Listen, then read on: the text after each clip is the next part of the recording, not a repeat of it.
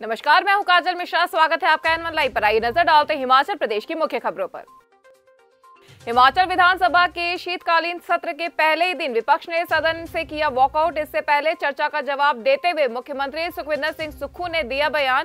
कि यदि आप बताएँगे कि नए खोले गए किन स्कूलों में आपकी सरकार ने भर्ती किया स्टाफ तो इस पर करेंगे चर्चा। इसके बाद विपक्ष ने नारेबाजी करते हुए सदन से कर दिया वॉकआउट राज्य शिक्षा विभाग में 12 दिसंबर 2022 से पहले जारी हुए तबादला आदेशों को लागू करने पर लगा दी गई है रोक। उच्च शिक्षा निदेशालय ने पुराने तबादला आदेशों पर रिलीविंग और ज्वाइनिंग नहीं करवाने के जारी किए हैं निर्देश। सभी जिला उप निदेशकों सहित कॉलेज और स्कूल प्रिंसिपलों को इस बाबत जारी कर दिया गया पत्र। पत्र की अनदेखी करने वालों के प्रति होगी सख्त कार्रवाई।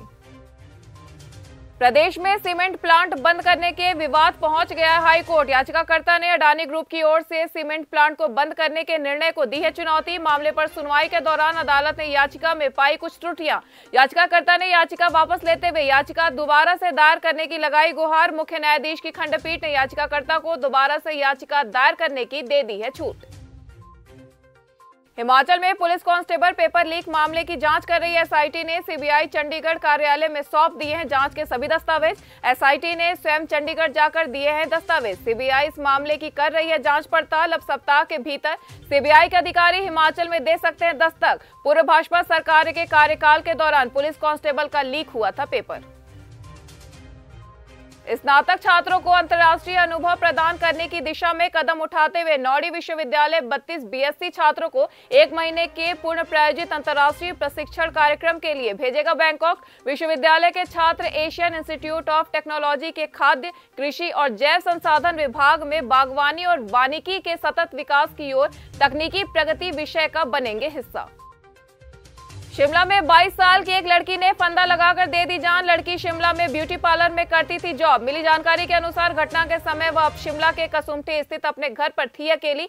पुलिस को किसी भी प्रकार का नहीं मिला है कोई सुसाइड नोट। हिमाचल प्रदेश में एमबीबीएस एडमिशन में फर्जीवाड़ा मामले में आरोपी छात्र को पुलिस ने कर लिया है गिरफ़्तार। पुलिस ने सदर थाना शिमला में शिकायत मिलने के बाद दर्ज की एफआईआर इसके बाद आरोपी को कर लिया गया गिरफ़्तार। कार्तिक शर्मा के तौर पर हुई आरोपी की पहचान। फ़िलहाल मामले की गहन जाँच में जुटी है पुलिस। हिमाचल के सबसे बड़े अस्पताल आईजीएमसी में खत्म हो गई है कोरोना वैक्सीन। कब आएगा वैक्सीन का स्टॉक? इस पर असमंजस की स्थिति में अस्पताल प्रशासन ऐसे में उठ रहे हैं सवाल कि एक तरफ़ देश में कोरोना की चौथी लहर की शुरू हो गई आहट, वहीं दूसरी ओर हिमाचल के अस्पतालों में खत्म हो गई है कोरोना वैक्सीन।